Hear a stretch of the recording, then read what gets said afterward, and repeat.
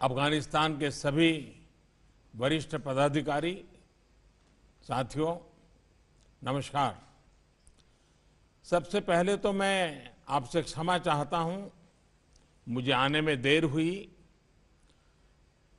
हमारा संसद का सत्र चल रहा है और संसद में कुछ कार्यक्रम के कारण मेरा वहाँ रहना बहुत ज़रूरी हो गया। आज हम भारत अफ़गानिस्तान दोस्ती की लंबी राह में एक और माइलस्टोन रखने जा रहे हैं। भारत और अफ़गानिस्तान सिर्फ़ जियोग्राफी से ही नहीं, बल्कि हमारे इतिहास और हमारे कल्चर भी आपस में जुड़े रहे हैं, एक दूसरे को प्रभावित करते रहे हैं। ये सदियों पुराने संपर्क, हमारी भाषाओं, हमारे खान पान हमारे संगीत, हमारे साहित्य में झलकते हैं। फ्रेंड्स, सभी मान, जानते हैं कि नदियाँ विश्व की महान सभ्यताओं की वाहक रही है। नदियों ने जीवन दाता बनकर हमारे राष्ट्र हमारे समाज को परिभाषित किया है। भारत में हम अपनी गंगा नदी को एक माता का दर्जा देते हैं और उसके कायाकल्प के लिए हमने अपना नमामि गंगे कार्यक्रम शुरू किया है। नदियों के लिए यह सम्मान भारत और अफ़गानिस्तान की साझा सांस्कृतिक विरासत है। हमारे यहाँ ऋग्वेद का नदी स्तुति सूक्त हमारे क्षेत्र में बहने वाली नदियों की प्रशंसा करता है। मौलाना जलालुद्दीन रूसी जलालुद्दीन रूमी ने नदियों के शक्तिशाली सभ्यतागत संबंध के बारे में कहा था, जो नदी तुम में बहती है, वह मुझमें भी बहती है। साथियों, पिछले लगभग दो दशकों से भारत अफ़गानिस्तान के प्रमुख विकास विकास साझेदारों में रहा है। अफ़गानिस्तान ने हमारी विकास परियोजनाएँ इंफ्रास्ट्रक्चर कैपेसिटी बिल्डिंग कृषि, शिक्षा, स्वास्थ्य जैसे अनेक सेक्टर्स में हमारी ये योजनाएँ फैली हैं। एक दशक पहले पूले खुमरी से ट्रांसमिशन लाइन के निर्माण से काबुल शहर में बिजली की आपूर्ति बेहतर हुई।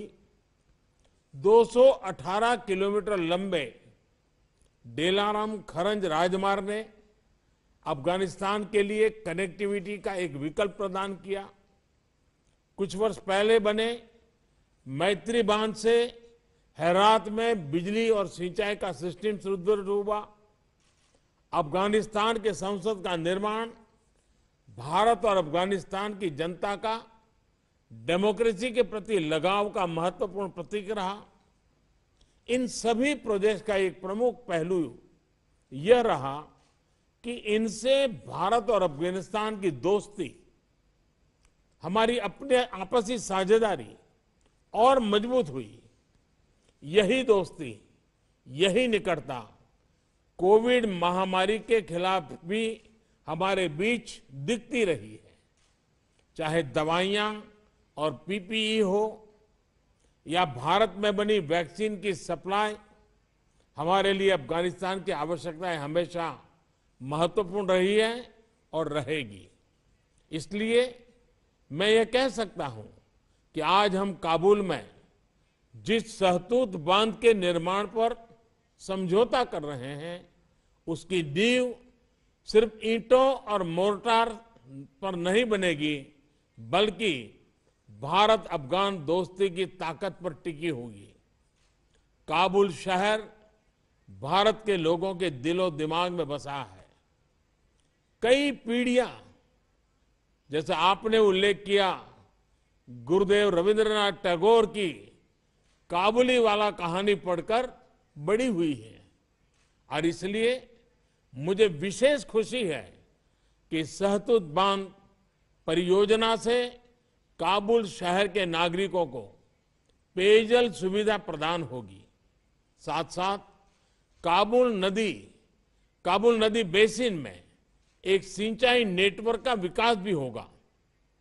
साथियों, जब मैं संसद भवन के उद्घाटन के लिए दिसंबर 2015 में काबुल आया था, तब मैंने हर अफगान पुरुष, महिला और बच्चों की आँखों में भारत के लिए बड़ा प्यार देखा था।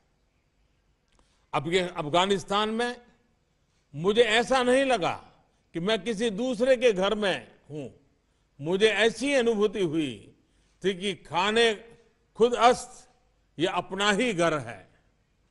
ये बद्रखसा से निमरोज और हैरात से कंधार तक हर अफगान भाई और बहन को यह विश्वास दिलाना चाहता हूँ कि भारत आपके साथ खड़ा है। आपके धैर्य, साहस और संकल्प की यात्रा के हर कदम पर भारत आपके साथ रहेगा। कोई भी बाहरी ताकत अफ़गानिस्तान के विकास को या भारत अफ़गानिस्तान दोस्ती को रोक नहीं सकती। एक्सलेंसी अफ़गानिस्तान में बढ़ रही हिंसा से हम चिंतित हैं।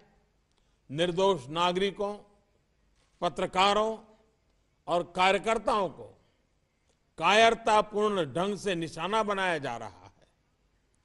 हमने हिंसा को तत्काल समाप्त करने का आह्वान किया है और हम फ़ौरन एक व्यापक संघर्ष विराम का समर्थन करते हैं। हिंसा, शांति का प्रतिकार है और दोनों साथ साथ नहीं चल सकते। एक निकट पड़ोसी और मज़बूत स्ट्रेटेजिक पार्टनर के रूप में भारत और अफ़गानिस्तान दोनों ही अपने क्षेत्र को आतंकवाद और उग्रवाद से और ऐसे भयंकर संकट से मुक्त देखना चाहते हैं। भारत एक ऐसी शांति प्रक्रिया का समर्थन करता रहा है, जो अफ़गानिस्तान के नेतृत्व में हो, अफ़गानिस्तान के स्वामित्व में हो, और अफ़गानिस्तान के नियंत्रण में हो। अफ़गानिस्तान के आवाम में अंदरूनी एकजुटता एकजुटता को मज़बूत करना बहुत ज़रूरी है। मुझे विश्वास है कि एकजुट अफ़गानिस्तान किसी भी चुनौती का सामना करने के लिए सक्षम है। अफ़गानिस्तान की सफलता में, हम भारत की ओर से अपने पूरे क्षेत्र की सफलता देखते हैं। हम एक बार फिर सभी अफगान मित्रों को भारत की दोस्ती का पूरा विश्वास देता हूँ। भारत पर रखे आपके विश्वास के लिए मैं हृदय से सभी अफगान के मेरे प्यारे भाइयों बहनों का आभार भी व्यक्त करता हूँ। तस्कुर धन्यवाद। लेटेस्ट अपडेट और खबरों के लिए टीवी वन इंडिया को सब्सक्राइब करें और नोटिफिकेशन पाने के लिए बेल आइकॉन को दबाना मत भूलें।